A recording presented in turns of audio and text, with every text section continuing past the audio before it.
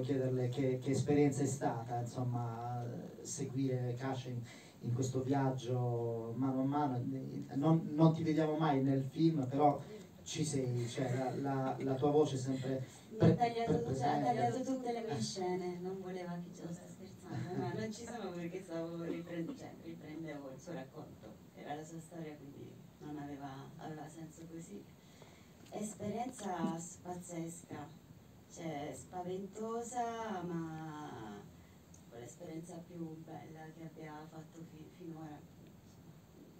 Forte, ho tanta paura come avete visto, però alla fine era anche un on the road, quindi ogni tanto cercavamo di non pensare a quello che stava succedendo e avevamo anche dei momenti di di leggerezza, no? perché se no andavi completamente fuori, fuori, di testa, eri proprio in un vortice di, di, di, nella tragedia, eri, eri, in un posto dove c'era un'aria triste. Qual è stato il momento più mh, difficile che avete passato? Perché ce ne sono quando per esempio siete arrivati lì in piena notte con, con il navigatore che non funzionava eh, più bene, insomma qual è stato il momento in cui magari vi siete sentite un po' perse?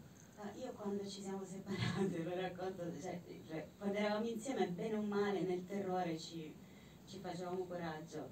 Invece quando ci siamo divise, io ho detto, ora, se, ora là ho proprio temuto che se fosse successo qualcosa in quel momento io non avrei saputo che fare perché eravamo separate, quindi non parlo polacco, ero in un posto che non sapevo neanche pronunciare, non sapevo pronunciare neanche il nome dei posti dove andavamo, quindi lei se n'è andata, i cellulari non erano sempre raggiungibili, quindi la seguivo con un'app ah, perché avevamo un'app per controllarci, per non perdere, se fosse successo qualcosa io vedevo il suo telefono, lei mio, avevamo una specie di controllo. Un GPS diciamo di... Era un'app, sì, quindi quando lei è andata da sola al confine vedevo la, la faccia di Cascia che arrivava quasi in Bielorussia, dicevo adesso questa passa al confine, no? quindi avevo l'ansia che facesse una cavolata, no, invece poi è tornata, però io ho avuto paura da, da sola, finché eravamo in, la paura lì ti passava perché avevi un obiettivo, cioè stavi, stavi lì per quello, quindi non, cioè, la paura sapevi a cosa andavi incontro.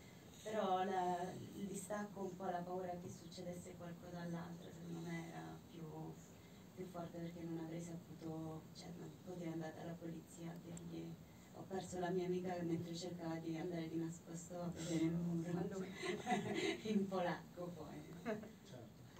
Quanto girato eh, avevi quando sei tornata poi in Italia? Perché poi ci avete messo tantissimo per montarlo, no? Mm.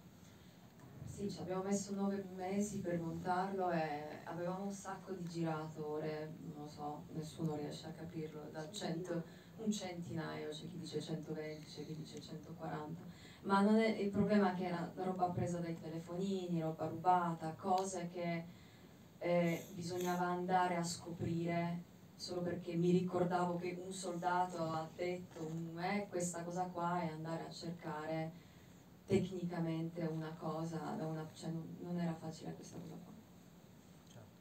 Beh, il montaggio molto, è stato molto difficile e anche molto lungo, anche perché appunto essendo in due lingue, eh, praticamente nessuno, molto pochi, no? invece qui ci sono delle persone, molto pochi riescono a imparare quella lingua lì dove ogni tanto arriva una vocale. perché non parli polacco, cioè, è che quando ti arriva una vocale tu dici una vocale, cioè 12 consonanti di seguito, cioè impronunciabile, è molto difficile. Quindi avere un montatore che, che parlasse il polacco impossibile. Avere, montarlo con un montatore polacco senza italiano altrettanto impossibile. Cioè, stato abbastanza complicato e poi alla fine l'unica che poteva spesso volentieri risolvere delle, delle, delle questioni di conversione di te eh, due iPhone 13 Pro. eh, lei ha comprato, è una bella Panasonic, ha comprato la signora qua. Abbiamo imparato come usare eh, i microfoni e, ed eravamo piene di roba ehm, imparata velocemente perché, perché appunto c'è saltato, insomma, è scoppiata la guerra e quindi eh, siamo partite poi lo stesso, però ehm, e quindi giravamo anche un sacco. Mm, questo anche dovuto al fatto che succedeva sempre qualcosa, ma anche del fatto che non sapevamo cosa raccontare, no? quindi beh, lei girava sempre, anche in macchina, quindi sempre, sempre devo dire che è stata una salvezza che ha girato sempre, i telefonini sono stati, sono stati una salvezza, per quanto quel mezzo, però lo conosciamo molto bene, no? è impreciso, è sfocato, è digitalizzato, è... però in questa storia era più immediato. Io penso che raccontare questa cosa qua con i mezzi eh, un po' più complessi avrebbe creato una specie di distacco, no? un filtro, che non volevo mettere un filtro, volevo proprio come, volevo che lo spettatore fosse all'interno della storia.